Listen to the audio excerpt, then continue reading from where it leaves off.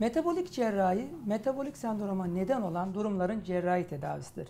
Metabolik sendrom, e, şeker yüksekliği, tansiyon yüksekliği, obezite ve kolesterol trigliserit yüksekliği seyreden tablodur. Birçok başta kalp damar hastalıkları olmak üzere birçok hastanın temelde nedenidir ve mutlaka tedavi edilmelidir.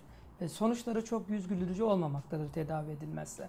Ama günümüz pratiğinde e, metabolik cerrahi tip 2 şeker hastalığının cerrahi tedavisi anlamı taşımaktadır. E, Metabolik sendromda asıl tedavi kişinin insülin direncini kırmaktır. Bunun için de mutlaka kilo vermek zorundalar. Hastaların %5 ve 10 gibi kilo kayıpları bile metabolik sendromdaki antitelerin düzelmesine yardımcı olacaktır.